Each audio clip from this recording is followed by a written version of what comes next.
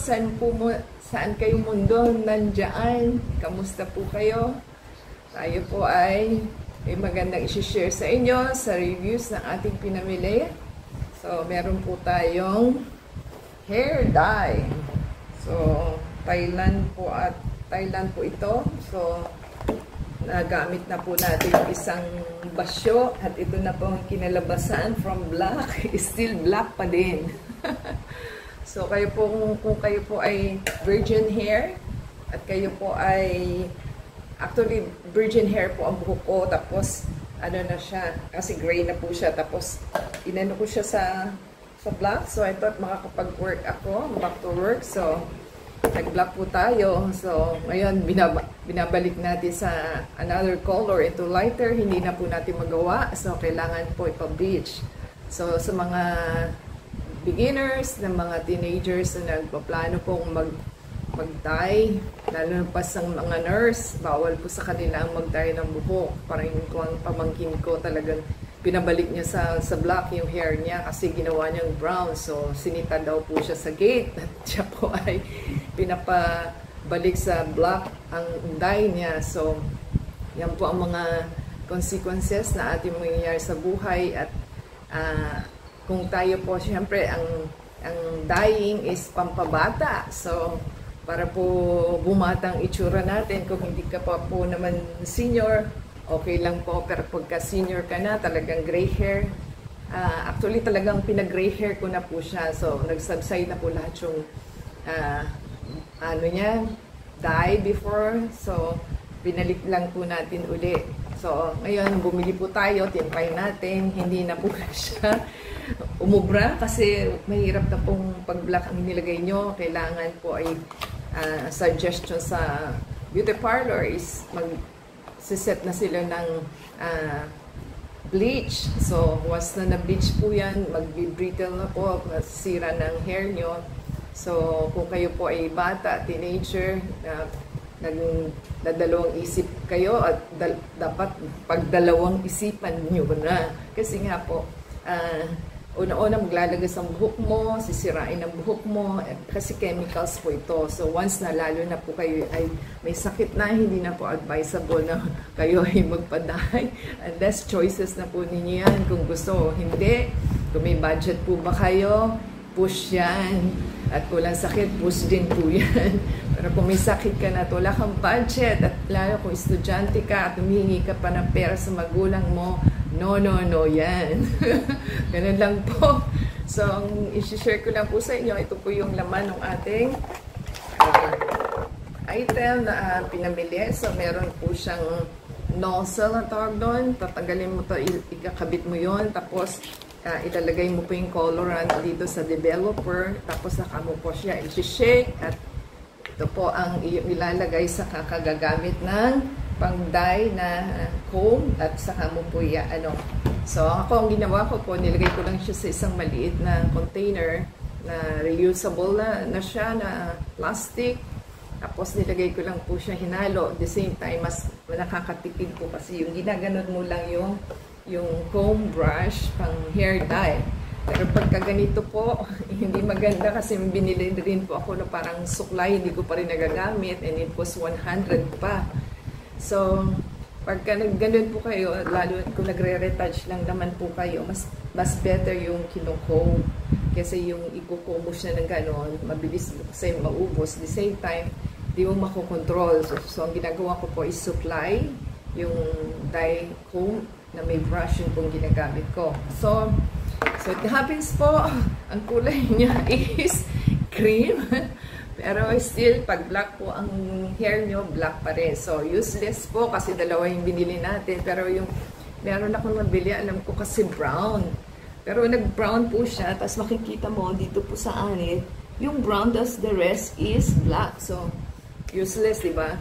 Kaya po mas maganda po talaga yung natural. Kaya kayo nga bata, makinig sa matanda.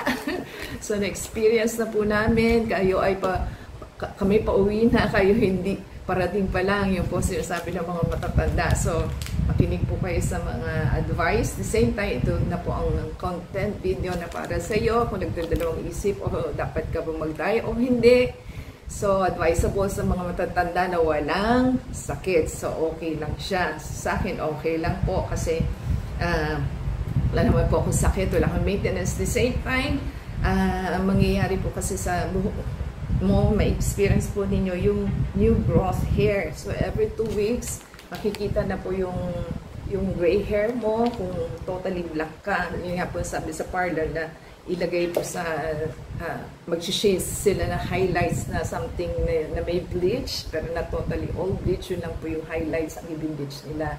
So, gagastos pa po kayo at the same time from 800 going up to 3,000, 5,000, depende po sa parlor na pupuntahan ninyo. At the same time, uh, after three, uh, two, two weeks, mamumblema na naman kayo kasi i-retouch mo yan. Kung hindi ka po marunong mag-retouch, pa, papapupunta ka na lang po. Every now and then, magme-maintenance ka for retouch. So, advice dyan is, dapat ho ba o hindi? Depende po. so, kung ikaw yung bata at wala ka namang gray hair na wala ka namang, yeah, ano, so meron po silang wig. kung gusto mo ng wig, pwede namang i-wash yun. Pero, syempre, ano po yun kasi yan, parang sort of, uh, pang pang ano lang ng katawan, luho ng katawan. So, yan po ang nangyari sa atin. So, kailangan ko ay pagdesisyon nyo, pagdesisyon nyo ng, ng, ng maigi kung dapat pa o hindi kasi nasa huli po ang pagsisisi. So, kung wala kang pera, magkano po itong ating pinamili? Parang 239 po ang isa. So, almost 500 yung dalawa. Oh, wala ka nang makain, magdaday ka pa, o di ba? Yun po ang yun po ang dapat decision decision na ninyo kasi maintenance din po 'yan, pampaganda sa mga taong uh, wala kasiyahan sa buhay, di ba? Pero baka po later, di ba, di ko na sa virgin hair. Depende po yan kasi uh, sila po yung nakakakita na ayaw makita ka matanda. Pero ikaw feel mo okay ka. So, mag-decision ka kung anong ikasiya mo o sila bang ang susundin mo o yung sarili mo. So, ganun lang naman po. At the same time, uh, kung wala naman po kayong ano sa sa may pupuntahan kayo, pwede naman po yung iba nagbibig nga, yung iba nga nagko-contact lens pa para maging feeling artista. So, mas maganda po ang sinasabi ni Lord is maging natural ka. Ayaw niya yung nakakontodo makeup ka na ang pula-pula na, di ba?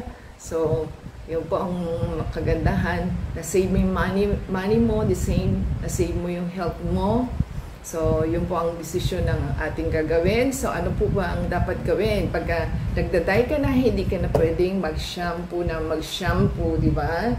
So, before po kasi, ang shampoo ko is, yan, si Suave Coconut. So, parang 200 something yata po ito. Nabibili ko sa SM supermarkets or Save More.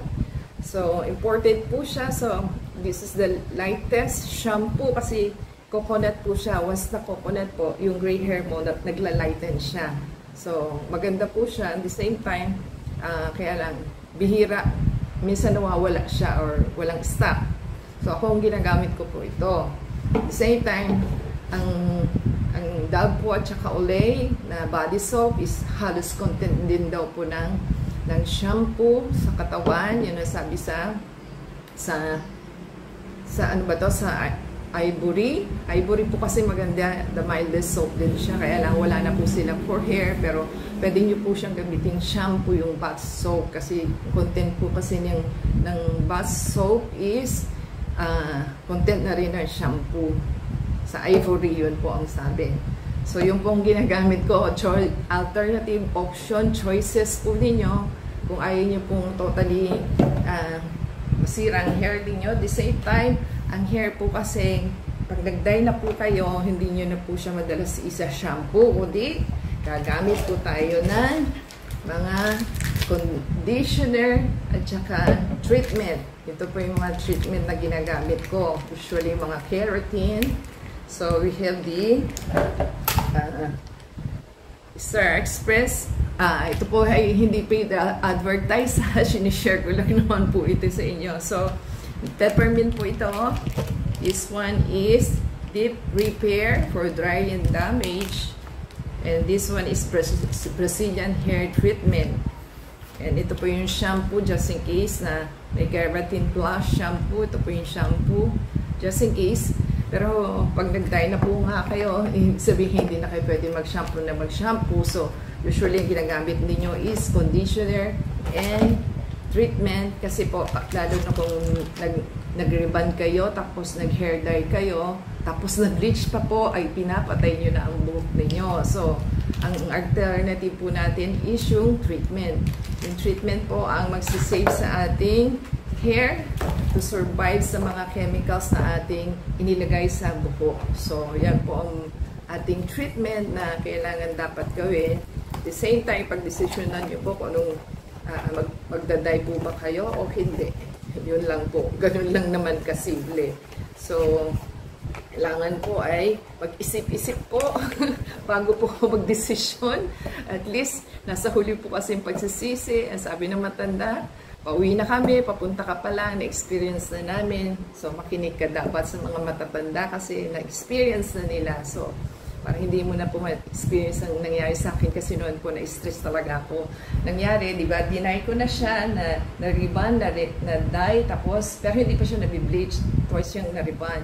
So, talagang naglagas siya, nag-kinky, tapos para na siyang steel wall. Alam niyo, steel wall na pang ano, sa pandinis, sa, sa kitchen, parang ganon, ganon na siya katigas. So, kailangan talaga po magko-conditioner ka, conditioner po at saka treatment.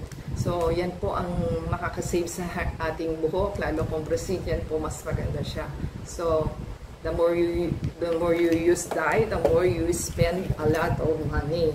So, kung may handa ka po ba sa pera mong ilalabas sa mga expenses na mangyayari sa buhay mo, kaya kung virgin ka, mas po sinasabi sa anak ko, bakit kang, huwag kang mag-dye, yan, yan ang maganda sa buhok, yan ang gusto nila, uh, totally natural, so wala kang problem unless na talagang uh, asiwa ka sa sarili mo na pili mo pangit na pangit ka, magdesisyon ka rin. Pero ang tao, i, i, kumbaga, ginawa ka ni Lord na maganda, na nakamukha kaha, kahawangis ni Lord. So, hindi ka pangit, maganda ka. Mas papangit ka po kapag nag-apply ka nito, panan, panandiliin lang naman po kasi ito. So, two weeks, three, two months, two, three, two weeks, doon ka lang gaganda. After that, so mga riniriba din na dye, hindi po maganda. Kasi puro chemical po ang nilalagay natin sa katawan natin. So yan lang po ang ating isi-share. Okay, like and subscribe po sa ating video. Thank you po sa mga nag-subscribe and click the bell notification po. Mag-comment po sila kung ano gusto ninyo i-share natin. At the same time, para po ma-shoutout natin inyong mga pangalan, uh, shoutout po tayo sa ating mga masusugid na uh, followers. Kay Julius Fidalgo po, kay uh, Red Panther Eyes, kay Junito Marinado Vlogs, kay Joy Ubalde Villarreal. Yan po ang ating mga, at saka kay Maymay Sinera Vlog, at kay CD uh, official vlog. Yan po ang ating, ano, at the same time, uh, kasama po natin uh, sa group chat sa sa support premier and kay Ulala. Alam niyo na po kung sino kayo. Hello po. Thanks po sa mga pag-support nila. Till next time po. Ciao. Sana po may natutunan po kayo. Till next time.